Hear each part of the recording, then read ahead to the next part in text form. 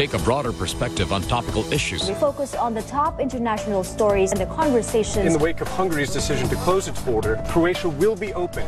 Ukraine and Russia continues on a low boil. Russia, they say, is starting to build a huge military base. A young Yazidi girl says she became a slave of the caliphate. Baghdadi told us you belong to the Islamic State. We bring you closer to the stories within and across borders. Listen in on Global Conversations. Fridays on CNN Philippines.